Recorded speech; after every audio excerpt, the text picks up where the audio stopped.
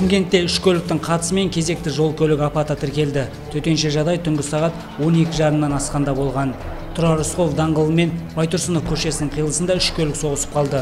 Лада приора volkswagen гольф және таксиде жүретін мж көліктері. Жүргізушілердің айтуынша лада приора және таксидегі көлік рысқұлов даңғылының бойымен самал базары жақтан жоғарғы отырар шағын ауданына бет алады. Сөйтіп байтұрсынов көшесінің қиылысындағы бағдаршамның қызыл түсінде тұрған. Алда приора одан кейін такси. Таксопарк көлігі жүргізушінің айтуынша артынан келіп соққан гольф көлігінің қалайша тежелгенін өз құлағымен естіпті. Рысқұловтан келе жатырмын үйге қайтып бара жатырмын сөйтіп светофор қызыл жанып тоқтадық. Сонымен тормоз басқан дауыс шықты. Ұрды болды. Сонымен шықтық машинадан қыздар шығып машинадан қаншадан төрт бес түсті короче үш қыз и екі бала бар қолдарында пивалар да бар гольф келіп таксиді соққанда ол жылжып кетіп алда тұрған приораны соғады осылайша үш көлікке де едәуір материалды шығын келіп отыр әсіресе мж және volkswagen гольф көліктері қатты бүлінген абырой болғанда адамдар ешқайсысы ауыр жарақат алған жоқ. Таксисттің айтуынша гольфте үш қыз және екі бала отырған көрінеді.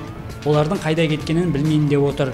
Оқиға орнына полиция қызметкерлері келіп жол көлік апаты жайлы хаттама толтырды. Көліктердің тұрған орнын анықтап жол апатының сызбасын жасауға кіріскен. Қазір жол көлік қақтығысының қалай болғаны анықталу үстінде.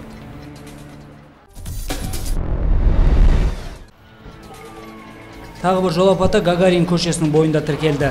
Мұнда volkswagen passat және volkswagen jetta көліктері соғысып қалған. Куәгерлердің айтуынша екі көлік те бір бағытта гагарин көшесінің бойымен жабық базар жақтан абай даңғылына қарай бет алған. Сөйтіп кенет passat көлігі солға бұрылмақ болғанда jetta келіп оны соғады. Көліктердің қақтығысына не себеп болғаны әзірге нақты белгісіз. Абырой болғанда жүргізушілер жарақат алған жоқ. Оқиға орнына полиция қызметкерлері келіп жұмыс істеуде.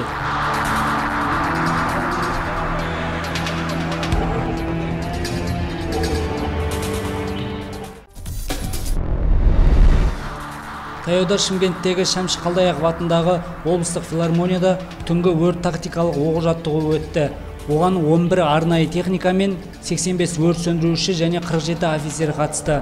Бұған қоса қаладағы түрлі апатты қызметтер мен жедел құтқару жасағының мамандары да жұмылдырылды.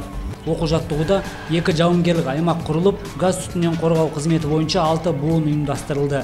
Мемлекеттік өрт сөндіру қызметінің іс қимылдарының нәтижесінде түнгі сағат оннан жиырма екі минут өткенде шартты өрттің беті қайтарылып тағы төрт минутта қызыл жалын толық сөндірілді.